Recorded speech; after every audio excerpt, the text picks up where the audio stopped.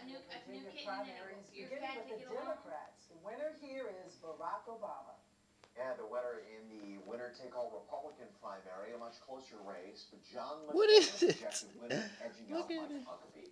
And as we mentioned, voting problems, specifically in Chesterfield County, some precincts there just ran out of ballots with hundreds of voters still waiting in line. Andy Jakes is just back from Hening Elementary School in Chesterfield with more. Bad night in some parts.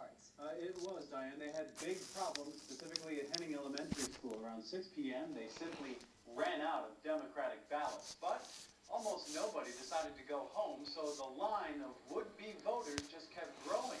A winding line filled the cafeteria, and even when all